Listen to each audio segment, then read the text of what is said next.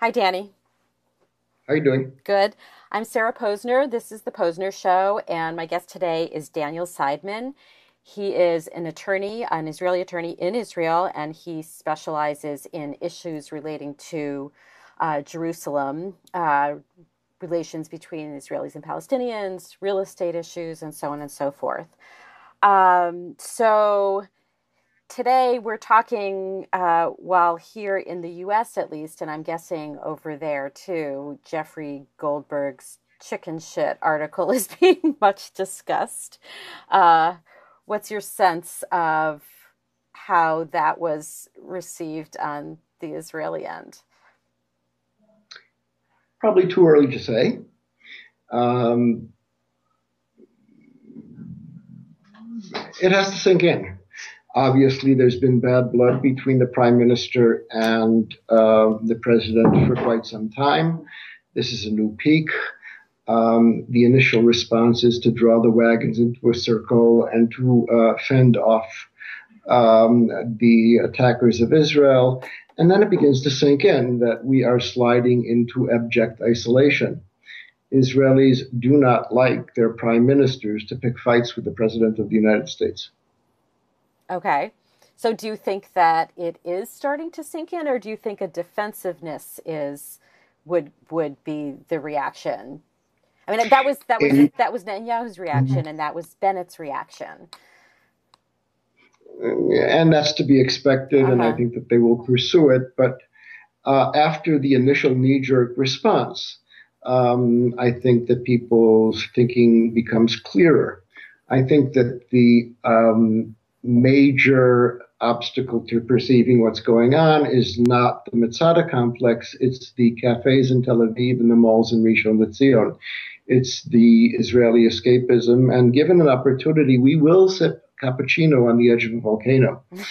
Um, but uh, when you have President Rivlin, who is from the revisionist camp uh, saying there are three priorities that Israel has in its foreign policy, and those are good relations with the United States, good, good relations, relations, with, the United States, States and good relations right. with the United States. Uh, that is a searing criticism being posed very politely. So I think that we are uh, witnessing a learning process within the Israeli public. Interesting.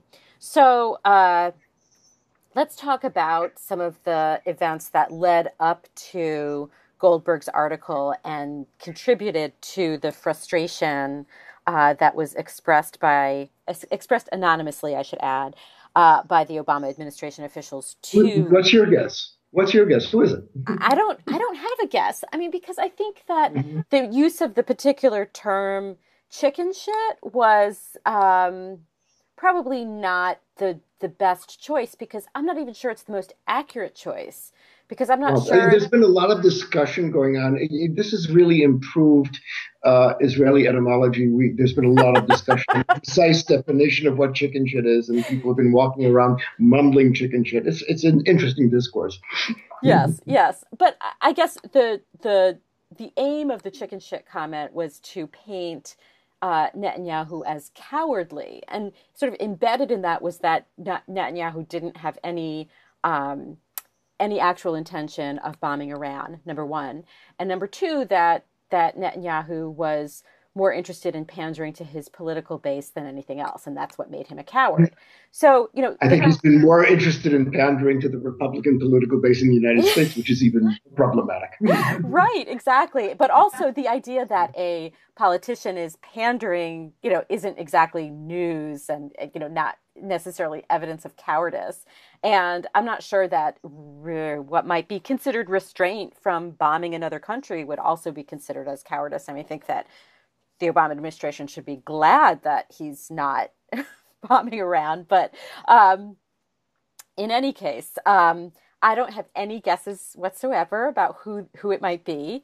Um, but I wasn't, like I said, I wasn't sure that the use of the term was accurately describing what the frustration is. The frustration mm-hmm. is, yes, that he's pandering and that he's going full bore ahead with increased settlement building and not making any not only not making any moves to advance a two state solution, but also making moves that will make a two state solution impossible. Okay, so I'm not sure that chicken shit is the right word to describe frustration with those with those. Uh, there were a number of other juicy adjectives there, so why you can. exactly. So okay, so let's talk first. Uh, there were there were a few things that I wanted to talk about. Um, I wanted to talk about what's going on in Silwan. Um, I want to talk about the Temple Mount in particular, also, and then just more generally um, the uh, construction permits in East Jerusalem, um, not not the ones not in Silwan. Uh, and just to give people the background of what it is, I, th- I, think that perhaps people have seen the statements coming from the White House and coming from the State Department talking about how um, these settlement activities are illegitimate and we're opposed to them. And the European Union has been critical of them. But let's get to the nitty gritty of what is actually going on um, mm-hmm. in these places. You're the expert, and um, I'm hoping that you can explain. Uh, explain what's going on to everyone who's watching this. So let's start, I guess, with Silwan. Um, mm-hmm. And why don't you explain Silwan's location and its importance in terms of um, the old city uh, and what has been going on in recent weeks, which is not necessarily new in manner, but some of the particulars are new. Mm-hmm. Well, Silwan, the name derives from the Hebrew term Shiloach, um, the pool of Siloam for Christians. Mm-hmm. It is the slope that descends from the southern ramparts of the old city, which means that looming over Silwan is uh, Al-Aqsa Mosque, Haram al-Sharif, the Temple Mount. Mm-hmm.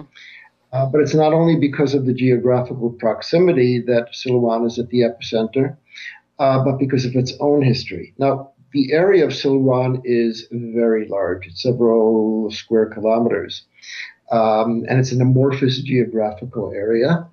Uh, but the area in question is one part of Silwan, known to the Palestinians as Wadi Khilwe, and known to us as you know, David, city of David. Mm-hmm.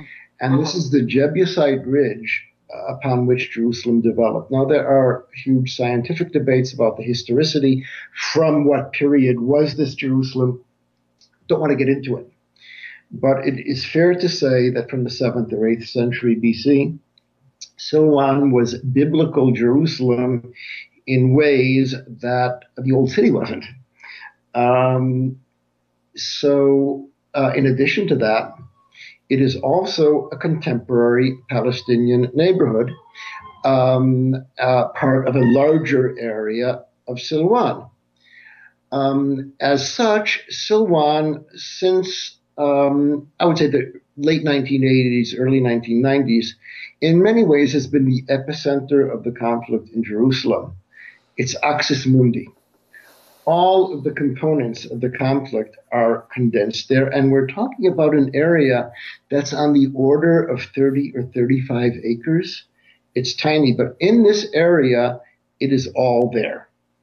You have the displacement of Palestinian families by questionably legal means. And in this case, I'm not speaking about the latest acquisitions. Okay. Put them aside okay. for a moment you have the transfer of virtually every governmental asset. And we're talking about the family jewels, probably the most important archaeological and national sites in the land of Israel, lock, stock, and barrel to settler organizations. So if you go to the national park, which is in, in name run by the Antiquities Authority, the National Parks Authority, you pay an entrance fee and you get a receipt from the settler organizations you have the archaeology of virtually all of it taking place under the direct or indirect uh, funding or auspices of the settler organizations. And, uh, the goal, have, and the goal of the archaeology or of the archaeological dig is to establish that this was the original city of David, referring to King David of the Bible. I, I would say the goal the goal is multiple, mm-hmm. and here I will quote um, my friends in the settler organizations. And by the way, I don't use the term lightly. I spent the better part of my adult life trying to stop the settlement enterprise because I think it's a stain on Israeli democracy, and I think it, it jeopardizes the Zionist enterprise. But for some odd reason, the settlers and uh, myself have remained cordial, um, maintained cordial relationships, and we do talk. Um, they intend to turn Silwan or this area of Silwan into an extension of the Jewish quarter of the Old City. And to do so by basically recreating a, what I call a pseudo biblical realm it will be a Jewish neighborhood. Uh, they are not speaking about throwing all of the Palestinians out, but there have been displacements based on questionably legal means. And basically, all of the authorities of government uh, have been uh, dedicated to this goal.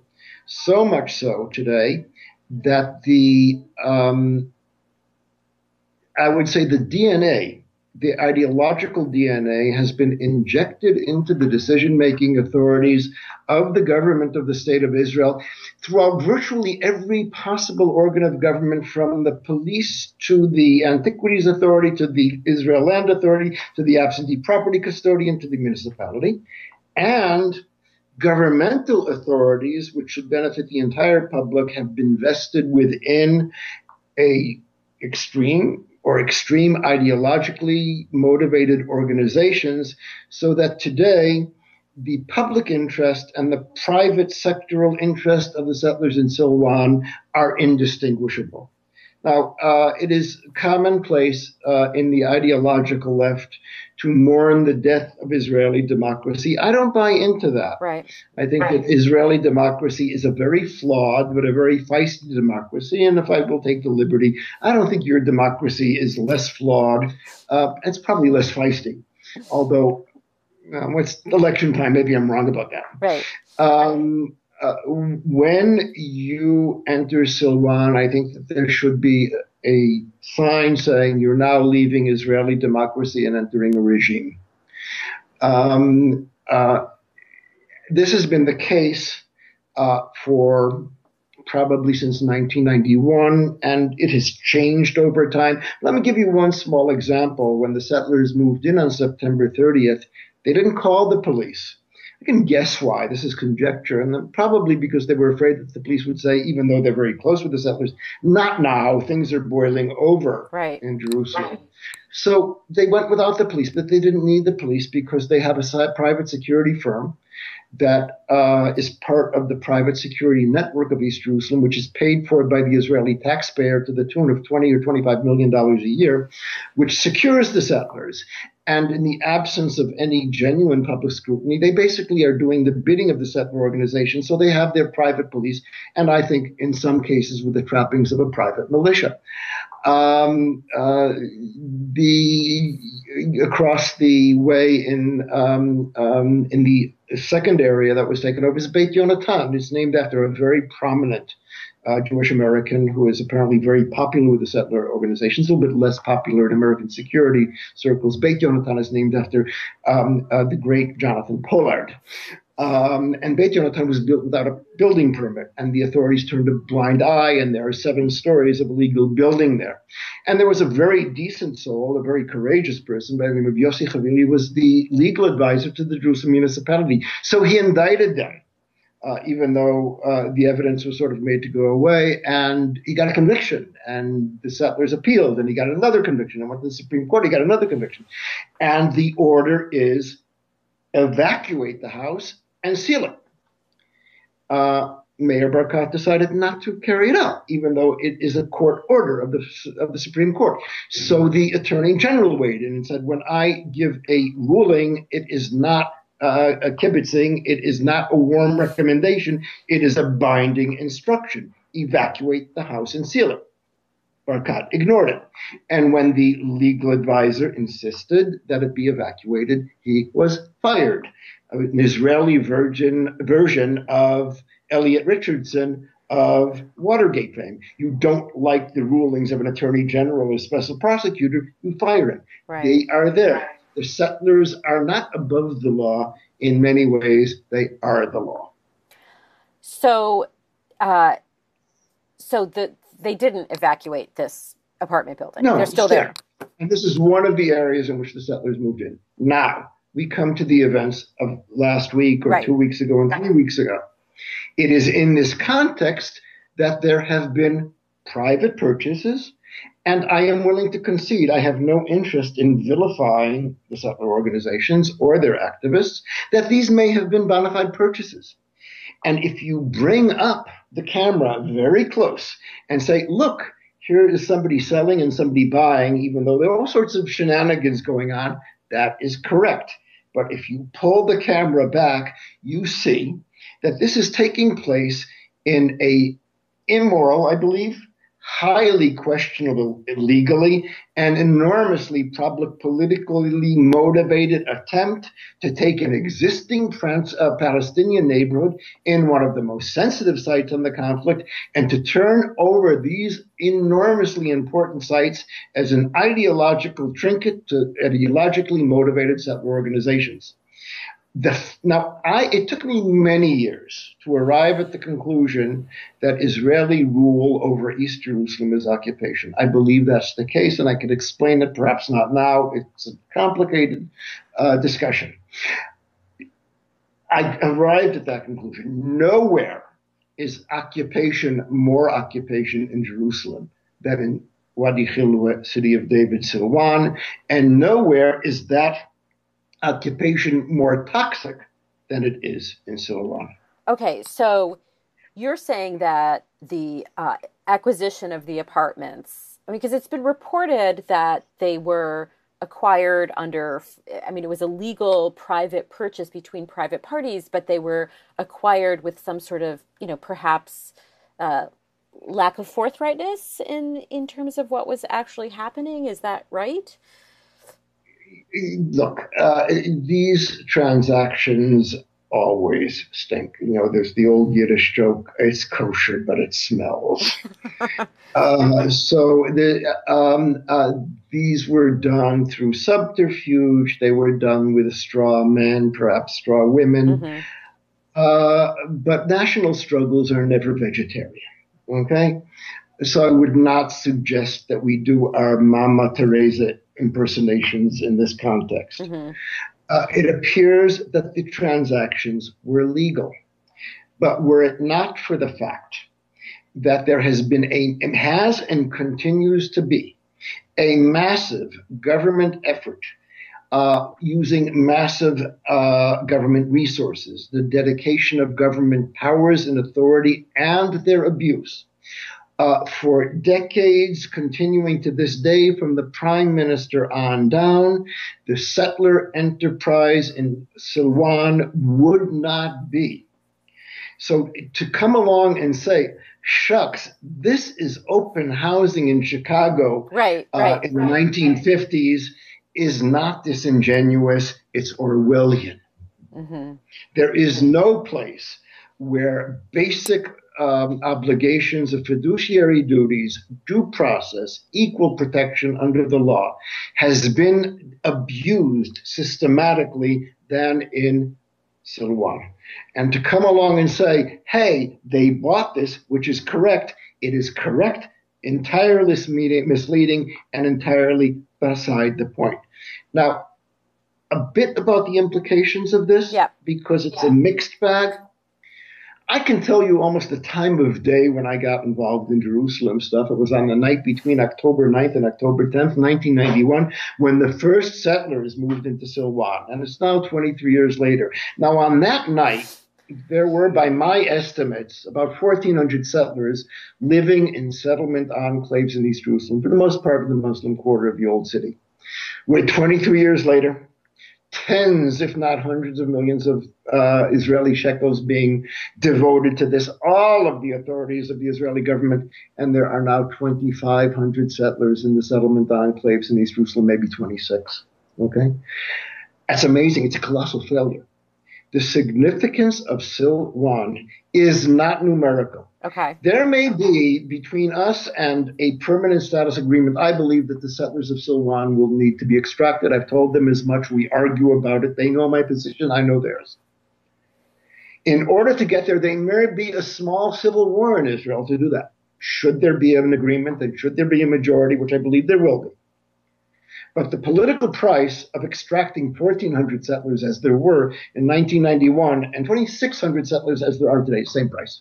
So before we uh, drive ourselves into clinical uh, uh, depression, 2,600 settlers in settlement enclaves, including the 500 in Silwan, will not determine the border between Israel and Palestine. That said, their impact is enormous. Their influence on this is not quantitative, it's qualitative. Right. Um, what we are witnessing in and around the old city, particularly in Silwan, but not only in Silwan, in relation to your next subject, the mm-hmm. Temple Mount, is the ascendancy of exclusionary religious narratives.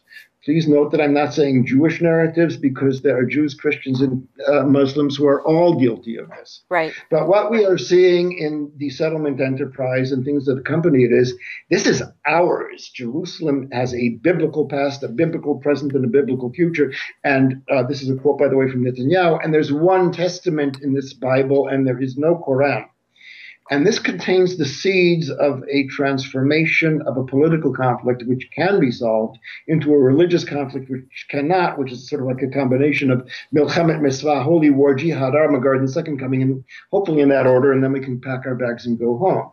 Now, the Arab world and the Muslim world do not need the settlers of Silwan in order to engage in their own form of radical political Islam, and this is a nasty neighborhood. But they are embracing what's happening here because the nastier wings of the Brotherhood and etc.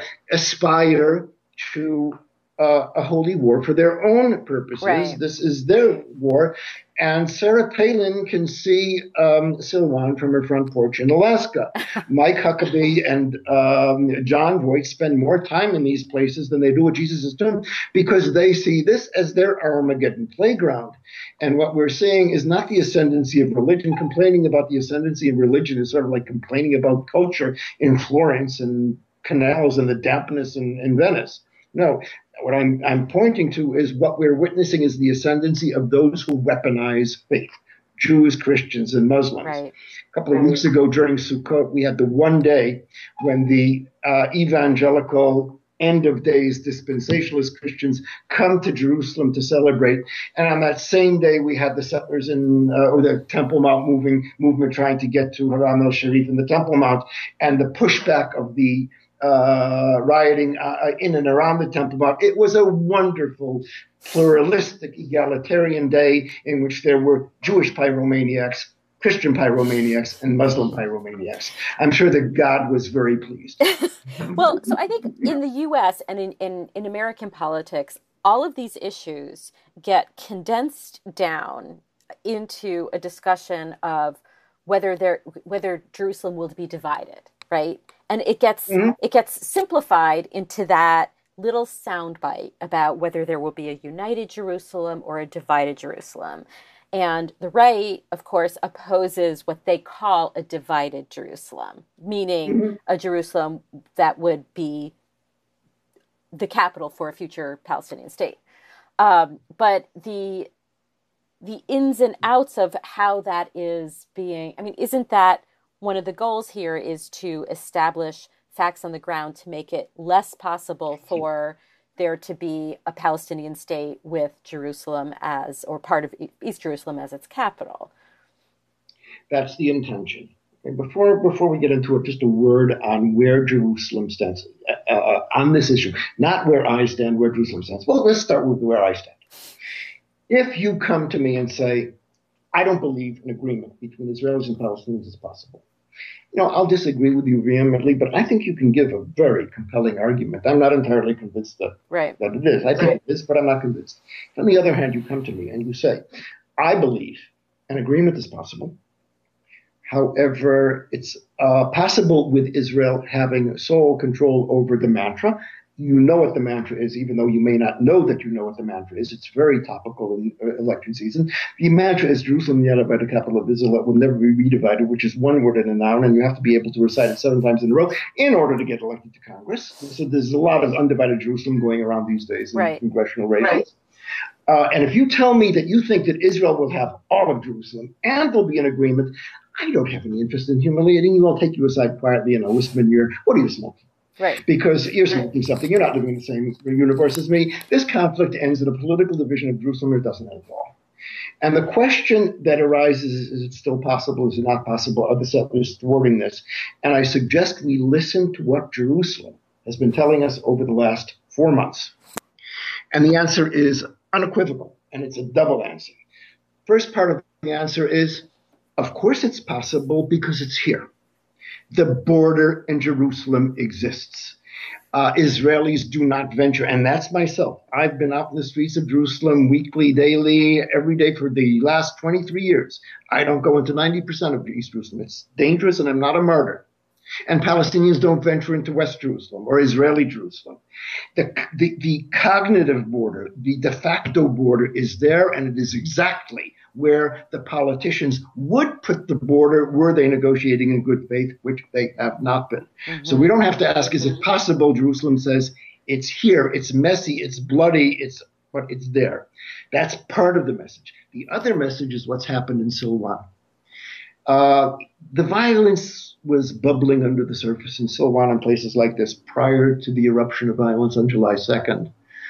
Um, but there was this disingenuous, oh shucks, we get along so well with our neighbors. You know, there's coexistence and so on. It's this idyllic, you know, they knock on the door and they ask for a sugar. We're just folks. They ask for a cup of sugar and we give it to them. Within hours of the murder of Abu Khader, this was Belfast at its worst, and Jerusalem was Hebronized. It is a perpetually hemorrhaging situation. Uh, there are nightly assaults on the settlers. I do not envy them. They've stopped counting the number of rocks and Molotov cocktails that their homes and their cars have absorbed um, Jerusalem is showing us what should be, and it's also warning us what could be if the two state solution is lost. There is no one state solution. There's a one state reality, and what the one state reality is living itself out in Silwan. Now, I believe that there is a ter- territorial threat to the two state solution. I don't think it's in Silwan uh, because the numbers aren't there. Israel will have to generate the political will to make painful decisions. The numbers in Silwan will not be decisive. In situations like this, when I would rush off when the settlers were taking over another house in mm-hmm. the middle of the night, mm-hmm. I would get there and then five minutes before or five minutes later, the late great Faisal Husseini, the national leader of the Palestinians, would also turn up. And I would be usually very upset. And Faisal was sort of very sort of fatherly towards me. And he said, Danny, don't worry. You Israelis are creating facts on the ground. We, the Palestinians, are the facts. That's the situation in Silwan. The territorial threats are taking place in the West Bank and Givat Matos and E1 and other places right. where there's a critical right. mass. What's happening in Silwan is a, a threat of another kind. So, so do you think that when American politicians talk about an undivided Jerusalem, do you think they understand whatsoever what is how how Jerusalem is in reality divided at this moment in as you said a, there's a cognitive border um, and i mean do you think they understand understand that or even understand the geography of of what's there or is this just sloganeering to i can i can i can uh, i can speak uh, with a little bit of experience now uh, several months ago um, by some fluke, uh, I was asked to accompany two of the most prominent Republican leaders in the United States, uh, known to everybody. And I was asked to take them on a geopolitical tour of East Jerusalem. By the way, I have to admit that I engaged in a little bit of child abuse in order to do this. Um, my my uh, youngest daughter, um, who's now in the military, expressed an interest in joining us, and it was possible. She came along, and I uh, I engaged in some manipulative self validation by saying, "This is my daughter Yael. You may ask her anything you want, but." You may not ask her what she does in the army and where she serves because it's highly classified. So I established my Zionist credentials. Uh, these are people who would never publicly um, admit um, to the possibility of a political division of the city at this point. At this point, they were riveted by what happened. There was a, a process where they began to see whether I was uh, some sort of anti-Semite. Uh, it's hard because I'm a reserve major in the army and all sorts of things of that nature. Um, riveted not entirely surprised, um, at times almost willy nilly disturbed by what they saw. Um, I asked them, Do you want Senator Kerry to succeed?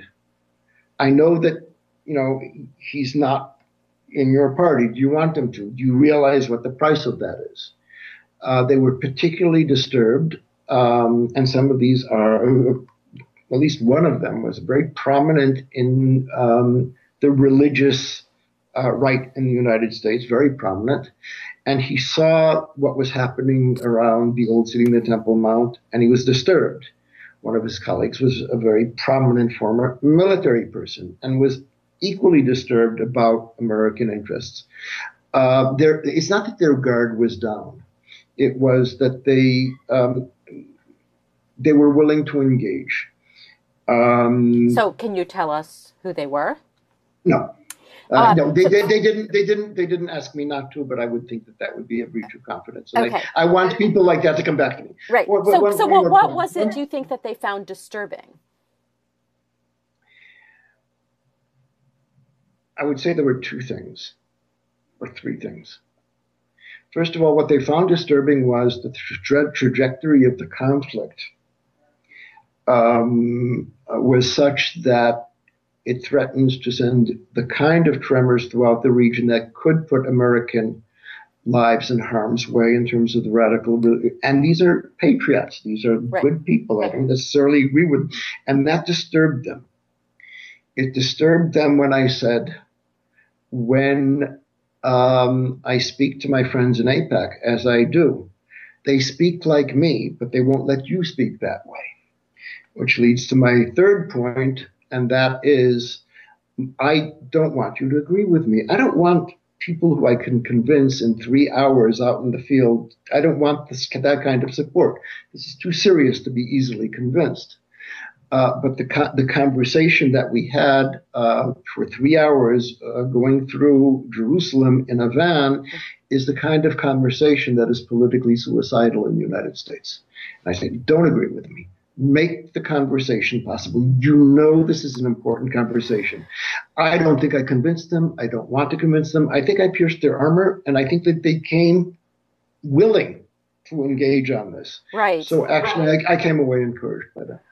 But do you see any sign that the political conversation in the United States could change? Because it's certainly there's certainly no evidence that it changed very much, even even with the Obama administration's um, pointed criticism of Netanyahu's um, government in the past, you know, month or two. So there first of all, but, there have been things said. There have been things said in recent weeks um, uh, that wouldn't have been the nature of the settlements yes. and Jerusalem. Yes. And and uh, when uh, Netanyahu said, "Get the facts straight," And uh, the White House responded, We did. Yeah. Believe me, I know up close what is known in Washington. I know up close what is known here. Believe me, the White House knew what they were talking about. But but I think that there's something else that's happening here, and it's it's just beginning. But I think it's also encouraging.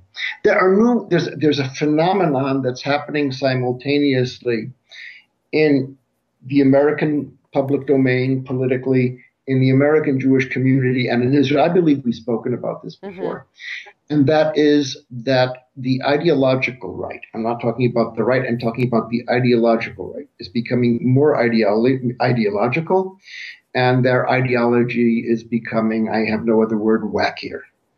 And that the schism is no longer between left, right, and center, but between an ideological right which is impervious to um, empirical realities in the United States, the extreme manifestations of the Tea, uh, Tea Party. By the way, I also have people who I like and respect on our issues in the Tea Party, mm-hmm. not over generalizing.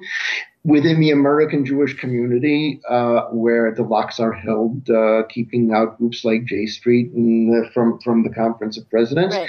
and and in Israel, where this is in many ways this is a government of settlers and by settlers, even though there are decent souls in the government. And the fact that this is uh, happening simultaneously, I believe, is creating new fault lines. And uh, as a result of that, conversations are appearing and going on uh, in each of these places, which didn't take place before. I know that I am being sought out. I don't like to market my wares. I like to work quietly and just leave me alone and let me get my work done. But if I get a, a, you know, am approached by a Jewish federation in the United States who in the past would stay away from this, like the third rail, I can't turn them mm-hmm. down. I am seeing increasing evidence of sober conversations. I think that there are subterranean shifts going on. You know, I can give you one small example. I don't know if you remember this. I think where, where was the Democratic National Convention? It was Charlotte, if I'm yeah. not mistaken. Um, and um, uh, when the Democratic Party platform was written, the fellow responsible for it did something that's unthinkable yeah. in these things. He didn't clip and paste, and Jeru- and and undivided Jerusalem or the capital of Israel was in the last platform, but didn't hear. And the Republicans pounced on this anti-Israel, anti-Semitic, dividing Jerusalem, this, that, and the other thing. And as usual, the White House panicked and they ordered uh, that a floor vote be taken after the platform was sealed. Put the Jerusalem language back in. It was brought to a floor vote, and there was a voice vote. And the poor fellow, the, the mayor of Los Angeles, um, apparently is a bit hard of hearing because when it was brought to a vote, there were sound boos. Um, and uh, he said, "Oh, the ayes have it." Well, it's wonderful that uh, people of Los Angeles has elected a mayor with hearing disability. Now, uh, one asks, has the Democratic Party become anti-Semitic? Now, I'm sure that the RJC and others will be delightful to this idea. I'm sure that most of the people doing the bullying were Jewish. Um, and it had nothing to do with dividing Jerusalem or not dividing Jerusalem. In essence, that was secondary. The real thing is they were fed up of being bullied into a parallel universe by the thought police. They're sick and tired of cracking the whip and stopping to think. And that's happening wherever you look, outside of the ideological right. Outside the ideological right. But outside, I would I would say as an observer and reporter of the ideological right in the United States that this has still so much potency and I think that like an issue i'm trying to think of an analogous issue but maybe uh, maybe abortion isn't a good analogous issue but the, the point i'm trying to make is that is that the that the mm. the people who are uh, against quote unquote dividing jerusalem are far more fervent about what they're advocating for than people who see through that as political um, you know, as just like political sloganeering. I, I, totally agree with you. The analogy that I use is the NRA. Right. The people who support the NRA have one issue, and the people who oppose it have all sorts of issue, and that is the fulcrum and the lever by which they uh, uh, obtain their power.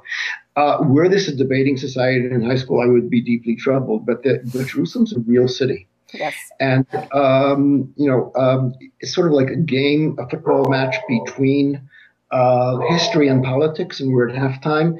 And at the moment, it's uh, history uh, to politics nothing. Uh, no, no, politics to history nothing. I think that we're beginning to see history catch up. Jerusalem, the myth of divided Jerusalem mm-hmm. is collapsing under the weight of its own fictions. Jerusalem is not waiting for the politicians; it's dividing itself. Jerusalem. Um, uh, is avenging itself by the people who are selling, you know, cheap baubles of some sort of tawdry, uh, mythical, undivided Jerusalem that does not exist in nature. Yeah. Um, and and uh, I believe that um, that will work in our favor, and that people who treat reality seriously I think the overwhelming majority of the American public and the American Jewish community, in spite of the lens through which all of these things has to pass, uh, at the at the end of the day, will understand that Jerusalem will be saved by a political division, that Israeli interests will be assured by a political agreement, um, that without a political agreement, uh, the, the, the recessive, self-destructive gene of the Jewish people in destroying our own sovereignty will emerge after having skipped a couple of generations. Uh, a hard look at what it needs to navigate the Jewish state through these treacherous waters will lead them to the conclusion that I've arrived at. Well, okay, so we'll, we'll two years from now in the end of October of 2016, we'll discuss this again and we'll see. Well, um, I don't have a watch. I don't have a clock. I don't have a calendar. If you're dealing with Jerusalem, not for somebody with um, weak knees, a weak constitution, and is in this for instant gratification, you get up in the morning and you do what you have to do. And uh, am I at all assured that two years from now things will be better? Nah. Right. Does it? And does that faze me? No. No. Uh, so okay, so let's let's talk about um, let's talk about the Temple Mount now. Okay. So uh, speaking of the passage of time, so in June I interviewed you for a story uh, about about the Temple Mount, and you told me then that if current trends continue, there will be a significant eruption of violence on the Temple Mount within a matter of weeks and months and not years. Mm-hmm. I stand by that. And you stand by that, and we're seeing that. Are we seeing that? I don't think, I don't, you ain't seen nothing yet. okay. Um, okay, look. Um, we have seen a serious destabilization of the Temple Mount. Um, when you look at the current violence in Jerusalem, there are the detonators and there are the underlying causes. The detonators could be uh, the murder of Abu Khader. The detonators could be the war in Gaza. The underlying causes are the dysfunctionality of Israeli rule and the kind of occupation it is. The Temple Mount is both. It's both detonator and an underlying cause.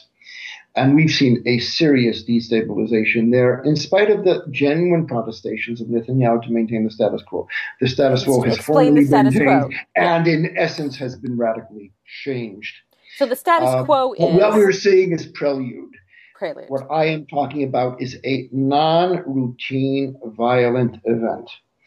And the trajectory that we are now seeing augurs for a non-routine uh, uh, violent event um, Jerusalem's a great is, is the hometown for people who deal with the apocalypse. Okay, I'm not talking in apocalyptic terms, but the question is not whether that will happen. It will happen. I don't have a timeline whether it's weeks or a few months, but it will happen. The question then will be: Will this remain an episodic, um, um, localized event, even though it is not routine, or will it send tremors beyond Jerusalem and to create trends that know, and that I can't tell you. So, for, so, so, for people who are mm-hmm. unfamiliar with the way this works, so the t- the Temple Mount, when you talk about the status quo on the Temple Mount, you're talking about that um, there is no Jewish prayer allowed there, uh, and that it is actually administered by Jordanian authorities, not Israeli authorities. Islamic endowment, the Waqf. And this is something that uh, is troubling to, um, I would say, like a growing number of uh, advocates for Jewish prayer on the Temple Mount. This is an issue that has also reached American politicians who want to uh, curry favor with um, um, the the right wing of Israel pol- politics in the United States. Um, you know, we talked about this for the story that I did in the spring, how mm-hmm. they're sort of being taught to look at this issue of prayer on the Temple Mount through the lens, through an American lens that tells yeah. them this is a religious freedom issue, this is a human rights Absolutely. issue. The Most Jews can't pray on the Temple Mount. But the real reason why the arrangement is the way it is is so that um, it's it's a geopolitical arrangement. It's not an issue. It's not an arrangement that has to do with trying to mm-hmm. suppress somebody's religious rights.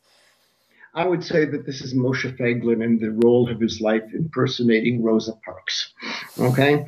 Um, um, let, let me answer your badly, question. badly impersonating. Uh, yeah, yeah. yeah. Um, let me let me answer your question with a series of vignettes over time. Now, uh, you mentioned the term status quo, and I wanted to go check. And the word status quo did not apply to the Temple Mount, Haram el Sharif, during the British Mandate.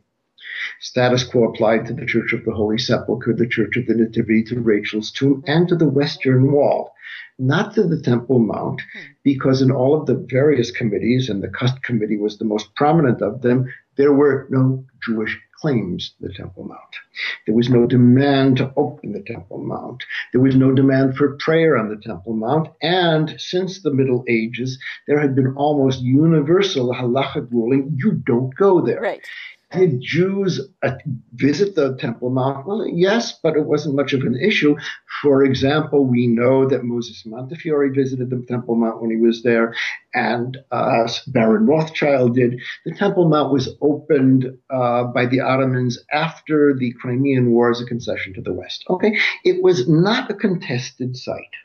Okay, and the word status quo applies only to contested sites. Vignette number one. Vignette number two. Third day of the Six Day War, Moshe Dayan arrives at the Temple Mount four hours after it was taken by Israeli paratroopers, and he sees Israeli flags flying from Al-Aqsa and from the Dome of the Rock, and he barks, takes those down, never put them up again. We don't need a religious war. And that was the creation of the religious autonomy, that instinctive, spontaneous decision created the Islamic autonomy, which reflected the status quo the Temple Mount has been in continuous Muslim control, exclusive Muslim control, since the end of the Crusades. Okay? A month forward, Rabbi Goren, who was one of the few rabbis at the time advocating prayer in the Temple Mount, visits the Temple Mount in August, and the Waqf guards throw him out. So Dayan says, You can keep nine of the keys to the gates of the old city. I'm going to have the keys in Israeli hands to the Mugribim map and we can visit. We can't pray, but we can visit. Okay. That was a minor concession, a minor shift. And it also reflected previous realities.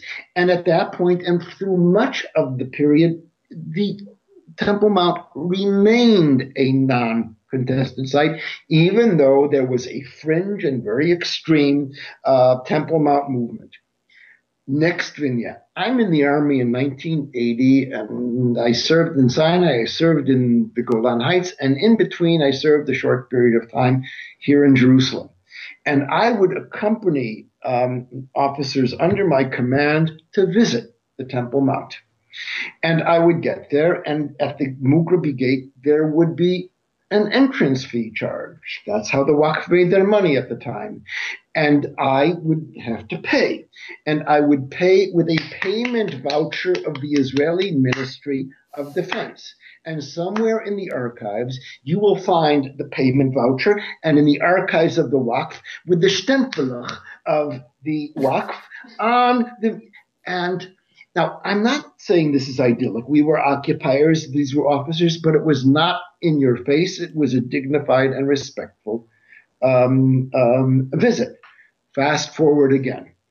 Uri Ariel, our Minister of Construction, who's responsible for the settlement surge, loves to pray on the Temple Mount. And, and, and it's the policy of his government not to allow prayer. It's the policy of the police not to allow prayer. But he does so anyway. It gives you an indication of the state of collective responsibility of the government here in Israel. Now, uh, you may have noticed that for many people, it's not enough to pray. You have to show that you're praying. You may have noticed that on an international flight, there's a Hasidic or Haredi custom not to pray under 30,000 feet because it doesn't, praying under 30,000 feet does not sufficiently annoy the other passengers. So Uri Ariel goes to the Temple Mount and prays. He could pray silently. No, he's got to show everybody he does the priestly blessing. And then he goes on camera and said, I would be delighted in my capacity as Minister of Construction to build the third temple. I hope it's coming. Now, the visiting hours on the Temple Mount have not changed. The prohibition in ad hoc uh, of prayer has not changed. Uh, but compare my visit with Israeli officers as somebody coming to your home, being begrudgingly invited in, being cordial, have a cup of coffee, and moving on, to what's happening today, which is the, the tantamount of my coming into your home and saying, look, we're not quite sure whether we want two of the rooms in your house or all of it. And you take out a tape measure and start measuring the curtains because we're going to throw you out. That means that technically, uh, and more than technically, uh, Netanyahu is correct. The status quo has not changed, but it has changed enormously, both in the way that it is happening, being lived out in everyday life, but beyond that. For the last millennia plus, the Temple Mount, or the last several hundred years, the Temple Mount has not been a contested site, and it's the integrity of it as a Muslim place of worship has not been in question. It is now in question. I do not justify the violence. I think that there is a murderous streak in parts of Islam, by no means all of Islam, but the concerns that they are displaying are genuine and they're not paranoid. So has there been an increase in the amount of sort of small scale eruption of violence on the Temple oh, Mount yeah. in the last the, four the, months? The, visit, the, visits are more numerous, the visitors are more numerous, they're more frequent, they're more visible, and they're more provocative. The, the visitors, that, the visitors, the Jewish visitors or the Muslim visitors? That's right. And don't forget, we live in a nasty neighborhood. Once again, the Temple Mount movement didn't invent the radical political Islam. They're merely helping them. Right. Um, so, what are you seeing in Jerusalem, not just on the Temple Mount, but generally? There is there a there's a greater police presence, a greater police crackdown. There's more there's more skirmishes between Palestinians living in East Jerusalem and the police. I mean, is this something that is has become commonplace in the last, you know, uh, four months. Four months or so. Almost. Yeah. Nightly, Jerusalem, East Jerusalem's aflame. Most Israelis are unaware of it because of the separation that I spoke about. Uh, the reasons are varied. Um, for me, the image of what Jerusalem is was comes from August, not far from my home, in the old train station where there was the Jerusalem Beer Festival, with, where we would sit around sipping boutique beers. And there's some really good boutique beers these days in Israel.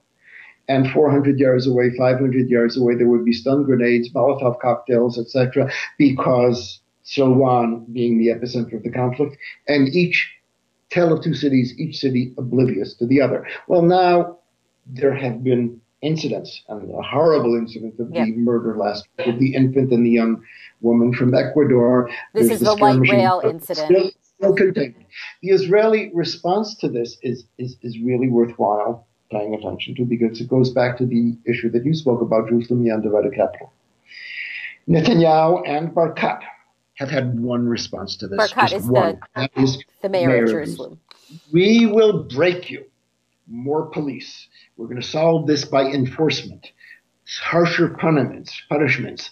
There's the Toys R Us approach to solving this. Boys with their toys, drones, and intelligence balloons.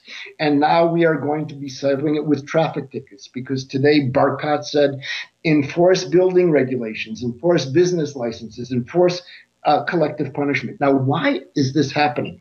This derives from their empirical detachment. They are completely cut off from reality. They are caught in an ideological bastion of an undivided Jerusalem that exists only in their fertile ideological imaginations. And because Jerusalem is undivided, and these are citizens or residents of this undivided Jerusalem, if they do bad things, it is because they are criminals. And they are, they are dedicated not to understanding that the underlying reasons for this are the unsustainability of the nature of Israeli rule.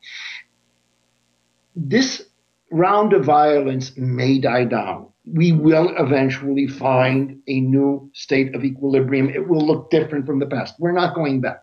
This will be a different city when it ends. Um, I can tell you with total authority, when it dies down, it will be in spite of the policies put in place by Barkat Netanyahu, which are solely there to break the residents and not because of that. And make no doubt of it, I don't doubt that the police need to enforce law. I don't doubt that they need to contain violence. I myself was the victim of Palestinian violence not so long ago. But having said that, if that is all you do and you don't understand that there are genuine grievances, that they are living lives without future. You know what's fascinating about this round of violence for me? It's being led by 12 year olds and 13 year olds, and they're not listening to their parents, and there's no political leadership to listen to. And I ask the simple question what possesses 12 and 13 and 14 year old boys to go out, boys notice, mm-hmm. on a nightly basis and clash with the police? Do you know that we probably have arrested more than one half of 1% of all of the Palestinian boys under the age of 18 in the last four months? It's, it's a stunning number. Now, they don't listen to NPR and they aren't receiving marching orders from Khalid Mashal. Why are they doing it? They're doing it because they're smart kids and they know they have no future. They know that they're not Israeli, they're not Palestinian, and nobody gives a shit about them. So, and, so when you and, say and, and, and and we come in and say, you know, we're going to break you. That's really going to do it. Uh, the, the Palestinians are saying our lives you know, Thoreau said that most men live lives of quiet desperation. And they're saying our lives are desperate, and in come Netanyahu and in come Barkat say, we're going to make you more miserable. Yeah, sure, that's going to do it. Right. So when you say it's going to look different after after it's quieted down, in what way will it be? Will there be more checkpoints and more police presence and rifts, all of that? The rifts are deeper. Hatred has intensified, been popularized, been personalized, in, in levels that we haven't seen. You know what's remarkable for me? This paradigm of you know uh, saccharine sweet coexistence that never existed on the light rail. Well, the light rail is targeted. The light rail's become the lightning rod of this conflict. Yeah. But even more than the Molotov cocktails and the rocks that are thrown on it, I use the light rail all the time because one of the few Israelis that use the light rail to go from West Jerusalem to East Jerusalem. And I do. When I go from my office to the American colony, to Sheikh Jarrah, to the Ambassador Hotel, as I do often, I use it. And uh, over the last few months, a uh, few months, several months ago, uh, it was used by Palestinians, ultra-Orthodox soldiers, Israelis. The Palestinians don't use it. Mm. Uh, it's become a symbol of oppression. It's become the symbol of they're being turned into extras in some sort of um, Potemkin village kind of coexistence. And they're telling us, we're not going to be extras in your fantasy world.